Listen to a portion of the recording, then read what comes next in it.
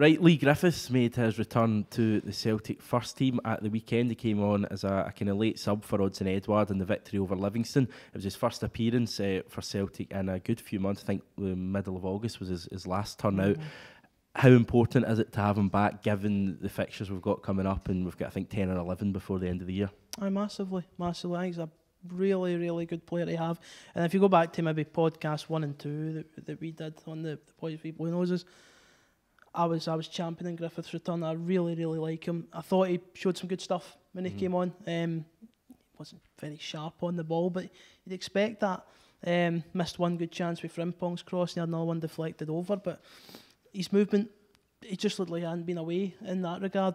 Um, as the season goes on, we're going to need him. I think a lot of people forget just how good he is. Um, yeah. he, he, technically, he's, he's superb, absolutely superb and he knows where the goal is. And you know, if anything happens to Edouard, to have Griffiths to fall back on is is massive, absolutely massive for yeah. a title race. I mean, I think we've been quite fortunate in terms of Edouard's not had any injuries aye, this aye, season, and he's I think he's played his, his last eleven or twelve last Celtic matches. He started all of them, eleven or twelve games. He started every single one of them, um, and we have been quite fortunate that Edouard, even in international duty, hasn't picked up any knocks or niggles, even to keep him out for one game. Because we were at the mm. stage where you know, Bayo was out injured. Griffiths was nowhere to be seen. And if Edouard had been injured, you'd have been wondering who who'd you put up top. Do you put, you know, one of the youngsters, yeah. someone for the development team? Do you put um, Ryan Christie or Forrest or someone like that up top? It wouldn't have been ideal. So thankfully, we've we've hopefully got over that that period, and now Leigh Griffiths can come back into the fray because for me, he's he's an excellent number two.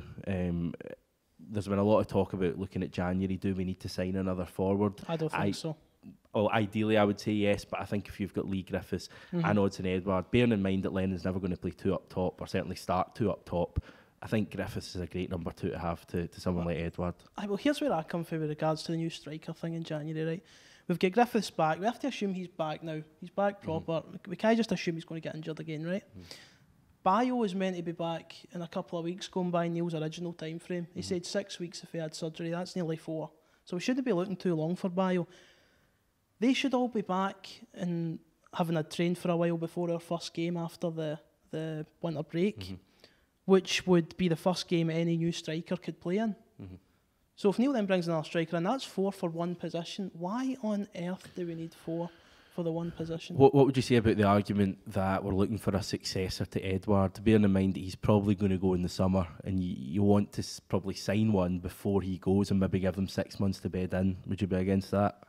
I mean, it's a. Because that, that man's not Bayo, is it? I can see the logic behind it. No, it probably isn't Bayo. Or I think Griffiths Bayo. Probably. I think Bayo was probably viewed as that initially. But, um, but no, listen, it, it, makes sense. But then, are you are you bringing in a new striker and then saying to Griffiths, "Great to have you back, Griff. You're now number three because we're bringing in someone else." Yeah, it's a difficult one to play. I, I, I, I don't know, mate. If you're telling me we can't bring in a new striker in the summer, that can start off well, then that would be a concern. I mean, yeah, I mean that, yeah, a good strikers do start off well. My, my point was just that when Edouard came in, he had that, you know, that year buffer when we had Dembele and Griffiths already on our books, and Edouard wasn't the player he is now during that year, miles from it. But he gradually, I think, got used to the club, and I know he was only on loan, and then we bought him, and then he's just come on leaps and bounds. So if you're probably looking for, you know, a sim- similar ilk signing to, to someone like Edouard, say as another French youth international, then he is probably in a new country going to take a little bit of time to get used to it. So that would be my only argument.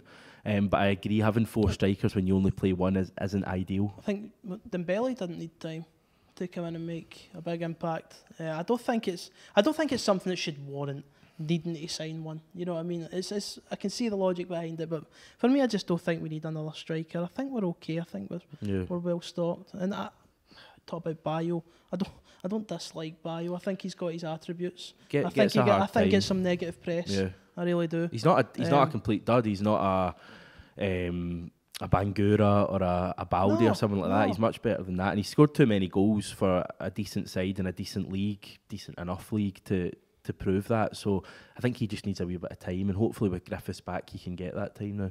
Aye, no, hundred percent. I, I think he's um, he's got his attributes. Like I'm saying, he's a good, good, powerful target man. Bayo, I think his touch can be a wee bit dodgy at times, but that's something he can work on. You know, Edouard's touch wasn't great when he first joined. Mm-hmm. Um, yeah, that Bayo, Bayo's, and people forget he looks about 28, but Bayo's really young. Bayo's yeah. a Bayo's a boy. I think is he not something like 19, 20, I want to say 21 or 22. 21 then, whatever it is. That's young. Yeah.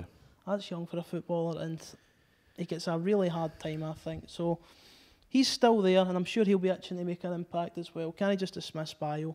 Um, so I would say the options we've got, I don't think a striker's necessary. I don't think many positions in January need strengthening to be quite honest. Interesting. Well, it's something I'm sure we'll touch on yeah. as the months go on. Certainly when we get to you know the end of December, early January, we'll have a lot of transfer chat.